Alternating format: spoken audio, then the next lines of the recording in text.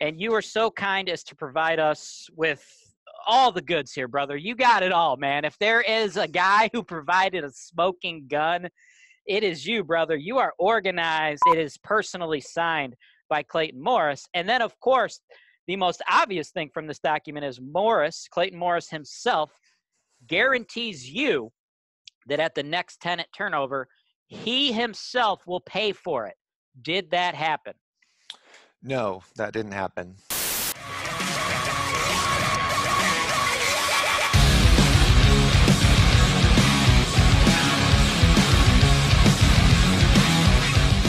Welcome to another episode of the Landlords from Hell show here on Holton Wise TV. As always, I am your host, James Wise. Today's show is continued coverage on the alleged scam committed by Clayton Morris and his company, Morris Invest. If this is the first time you've heard anything about the allegations lobbied against Clayton Morris, in the show notes below, we've done extensive coverage on the topic. The first thing you're going to want to do is check out our three hour long documentary, which lays a big overview of the whole situation. In addition, we had to make a second video because instead of trying to make things right for all the alleged victims, Clayton Morris has used his power, his influence, and his money to lobby a huge lawsuit, a $7.2 million lawsuit against me and Holton Wise for our coverage on the topic. So that is in the show notes as well. The thing about all the coverage that we've put out there on this topic is every time a show goes live and you folks are sitting at home and you have the opportunity to hear the story from others who are in a very similar position as you are, you become empowered and you start hitting the internet and hitting forums, reaching out to people, sending us information, and you guys are putting up a fight, and I want to see that continue. When we started our coverage and we did our first round of interviews, we only had so much evidence. We had ample evidence, but what we have today is so much more than what we had back at that time. When we did our second video, which again, that's in the show notes below, where we went over the lawsuit that Clayton has lobbied against us, we actually went over three purchase agreements that were signed by Clayton Morris himself. In the previous video and that video, we have Clayton on camera saying he never sold a single property in Indianapolis. But yet we had three Clayton Morris signed purchase agreements at that time. I am very happy to tell you guys as I am talking to you right now, we now have over 12 signed purchase agreements. These purchase agreements all signed by Clayton Morris. That is not one, but at least 12 smoking guns.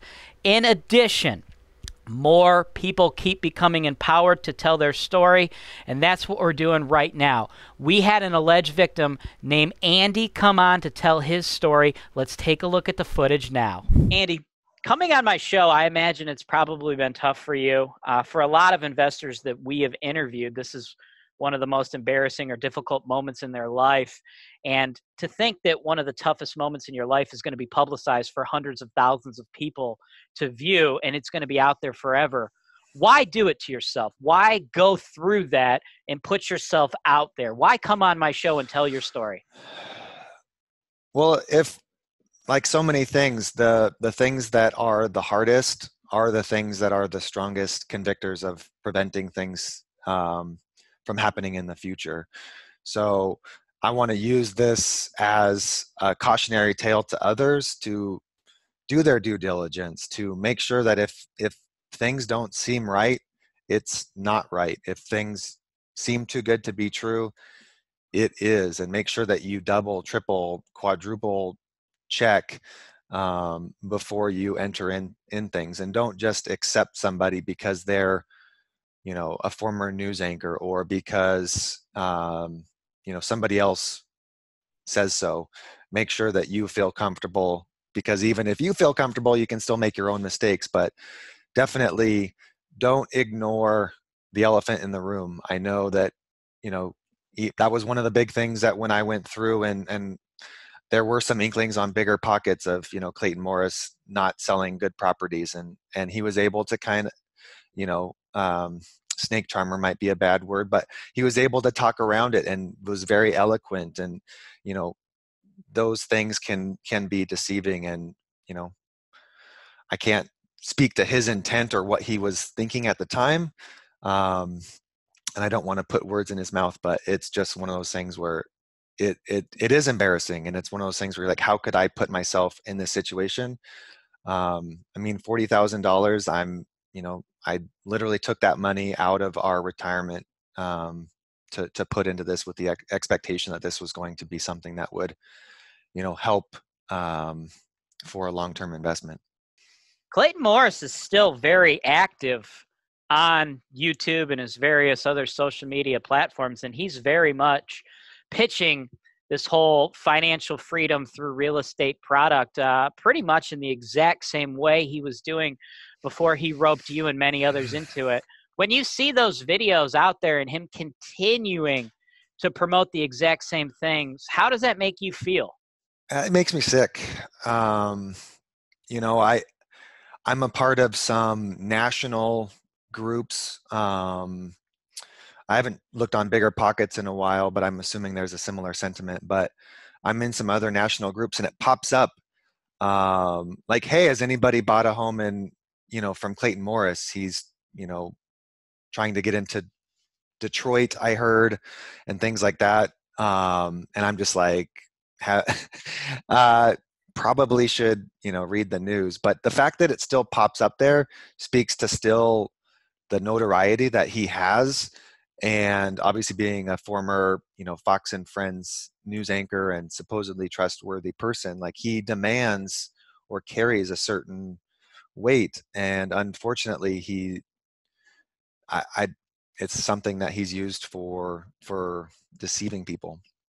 There is clear cut evidence that you have provided to me undisputable evidence that at the very least clayton morris lied to you caused you to spend almost $40,000 based upon a lie. And the first thing I want to discuss with you is this purchase agreement 3920 East 10th Street. Uh, it's a property in Indianapolis, all the way on page five. We have the purchase agreement signed by you and then signed by Clayton Morris. So tell me about this property and you buying this property. How did you come about buying this particular property from Clayton Morris? Yeah, so back in 2017, I started, hey, I need to buy some real estate. And I live out in the state of Washington, and it's really expensive to buy a house out here. So decided to take a look and stumbled upon Clayton Morris's um, well done, you know, podcast and series there. And it's like, okay, well, this sounds like a good idea.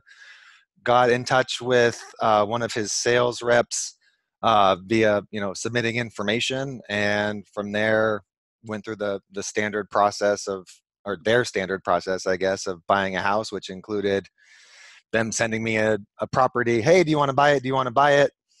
Um, pull the trigger or not. Um, I, I passed on a couple houses, and then this one came up, and I didn't want to lose out on the you know the promised six hundred fifty dollars a month for the price that you know for thirty eight thousand five hundred dollars. I was like, that's an amazing steal. So went ahead and jumped on that with the intention of having it, you know, turnkey and and and ready for me.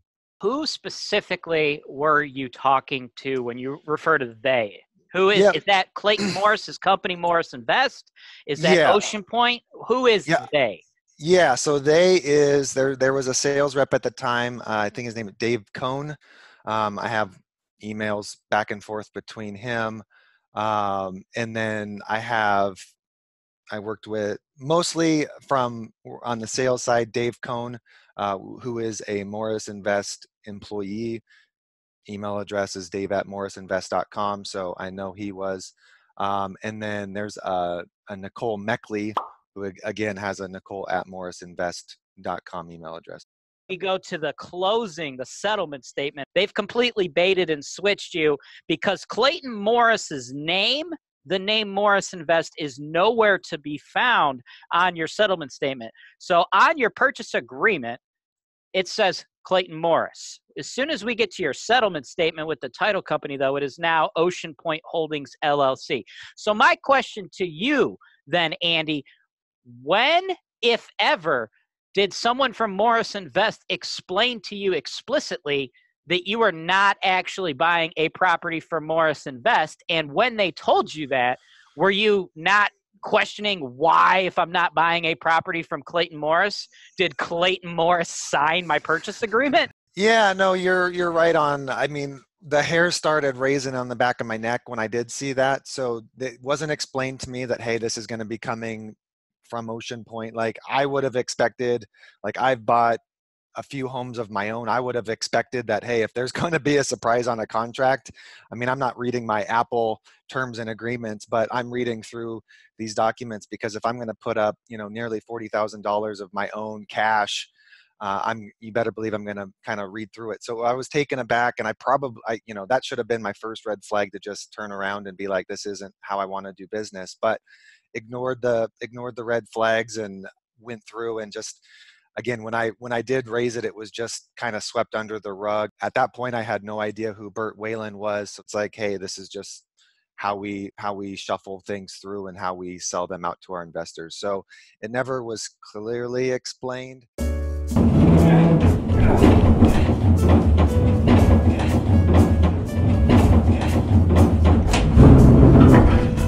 Two please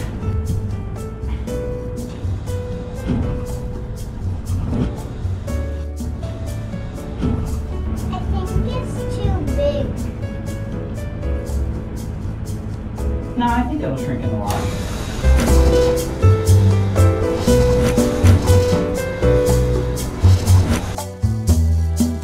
Did they give you the impression that Ocean Point was a completely separate company, or did they give you the impression that Ocean Point was just another entity owned overall by Clayton Morris and the Morris Invest brand? How did they position that to you? Yeah, it wasn't expressly explicitly one way or the other. It was just kind of like, hey, we go through this standard process, and we meaning when when either Dave or Clayton talked directly, because I, I unfortunately my phone uh, has since gone kaput, and so I don't have any of the physical um, emails or or sorry the voice text that he would send me or anything. But any com any communication, it was we meaning Morris Invest was going to be doing the rehab. They were you know had oversight over the property management even though i knew that they weren't the ones physically doing the property management they had their direct hands in it.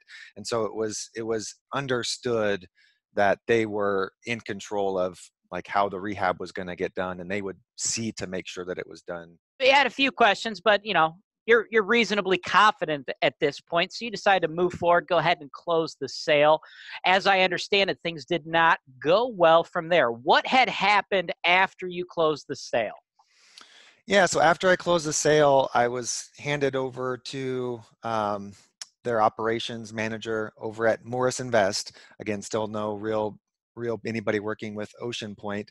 Uh, but on a weekly basis, I would send an email uh, asking for updates, and they're like, "We'll get you updates. We'll get you updates." So about five weeks in, they send an email and say, "Yeah, we're going to go over to the property and make sure that everything's done." Um, when you say everything's done, what do you mean by what were they supposed to do? What did they promise that they were going to do?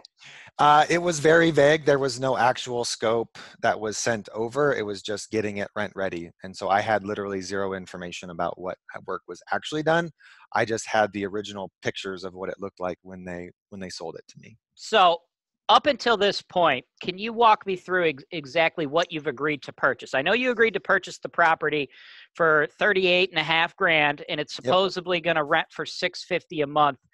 Yep. Is it already renovated? They are going to renovate it. What's they happening? Were, yeah, so I bought it pre-renovated with the expectation that it was going to be made ready for the next tenant. They never did a renovation. I kept asking weekly for updates for pictures that they promised that they would send along the way. Uh, and it was clear after five weeks um, that there wasn't going to be a rehab done because there was a tenant that was living in there. So it it took them five weeks to figure out there was actually an occupant in your property and it wasn't vacant.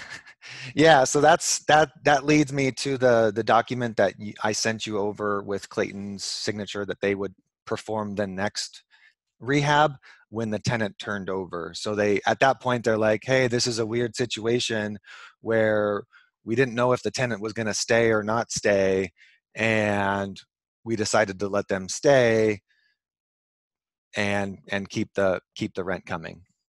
This document which is another smoking gun um, and i implore anyone else out there who's watching this who has been taken advantage of by these people please drop it in the comments below. We want to hear your story. Just that's how andy found us. He's watched our previous videos on the topic and uh, he's got a story to tell and we are here to help him tell it. There is relief out there that is available for you all. You don't have to just take it on the chin folks. This type of stuff is wrong and we are going to expose all of it. But this document, Andy, this is a this is a great document, and this document it, it does several things for me. Number one, if you look at it, it says Morris Invest, and then in parentheses Ocean Point LLC. So to me, I'm reading that as he is saying Ocean Point LLC and Morris Invest are one and the same. That's one thing I gather from this document. The second thing I gather is that it is personally signed by Clayton Morris. And then, of course, the most obvious thing from this document is Morris, Clayton Morris himself, guarantees you that at the next tenant turnover, he himself will pay for it. Did that happen? No, that didn't happen. I tried. So this past summer, the te- the uh, the property became it was clear that we had to evict the tenant. Um, I reached back out to Clayton Morris and I was not able to get a hold of him. How much money do you estimate that this renovation is going to cost you?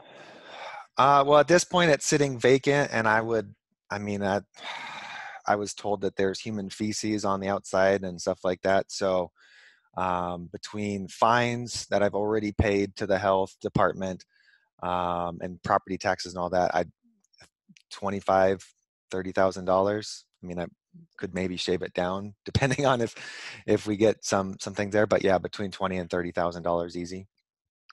So you have a document signed by Clayton Morris that he gave to you back in 2017, where he a associated himself as Ocean Point and b agreed to pay for your first tenant turnover. There's a line in there right there. It says this agreement has no time limit and does not expire. As you and I talk right now in January 2020, has Clayton made good on this signed agreement? No, he has not. What had happened when you have tried to reach out to Clayton Morris to get him to give you the money he owes you essentially? Essentially this man has stolen to to your estimation between 25 to 30,000 dollars from you. What has he said as his excuse for not giving you the money he owes you? I have not heard back in the past I don't know how long 6 months or 9 months since I've tried to um, since the tenant since the property has become vacant i have not heard anything from clayton morris. When you found out that clayton morris fled the united states of america for portugal what went through your head knowing that you have this 25 to 30 thousand dollar debt out there that he still hasn't made good on? Um well i had to be honest i had low hopes already because i had wind of uh, Ocean Point and all of that failure. Um, and unfortunately, there's other people that have way more losses, and I consider myself lucky. If you can consider yourself lucky when you lose twenty thousand dollars compared to some of the other stories, um, but not that I want to say I chalked it up as a loss, but I've been just trying to figure out how to best make the situation. Clayton Morris has never actually denied that the people who purchase properties through his companies and his affiliated companies down there in Indianapolis lost money. Instead, what he has done is he has completely separated himself from Ocean Point in an attempt to point the finger directly at Ocean Point and Bert Whalen. With the documents you've provided for me, the purchase agreement that has Clayton Morris's name on it, this contract between you and Clayton Morris, which also has his name and signature on it, where he more or less admits that Morris Invest and Ocean Point are one and the same. What are your thoughts on his defense that, hey, it wasn't me, I'm a victim alongside of you? You know, if it was a, at some point, again, just like I had the the twinge in my, the back of my neck, like you would expect that at some point when the first or second complaint comes in, I can't imagine that these didn't come in beforehand. That at some point you'd be like, something is wrong here. If he was acting in a in a way that he makes this that he cares about people that he's investing and he's helping people get to their financial freedom if he really cared about that he would have done a little bit more due diligence. He would have under like me as a company owner.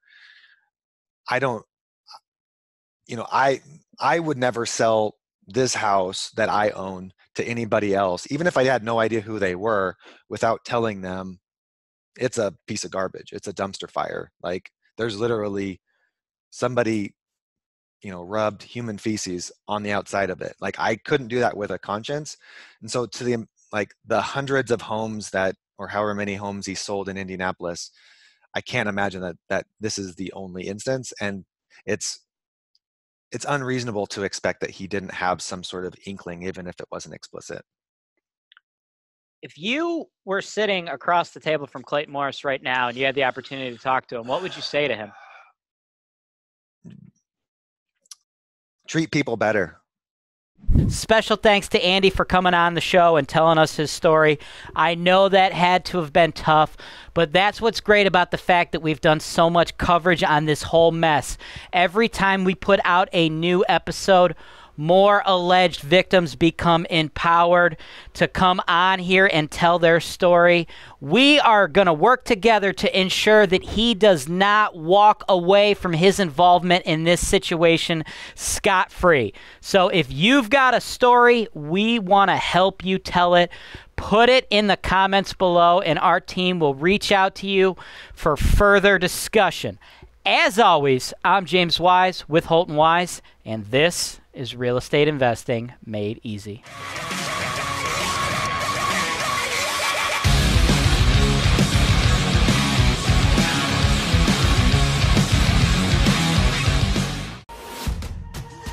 Rentec Direct provides you with an easy to use yet robust platform for managing your properties, complete with its built in reporting and accounting system that can be customized to fit your business.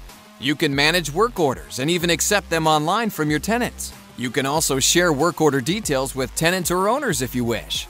With Rentec Direct, you'll also fill your vacancies faster than ever with the built-in marketing tools. Just enter the details of your property and Rentec will automatically provide you with a professional online website as well as syndicate them to popular websites such as Zillow, Trulia, and Apartments.com to get your listing maximum exposure so it's rented fast.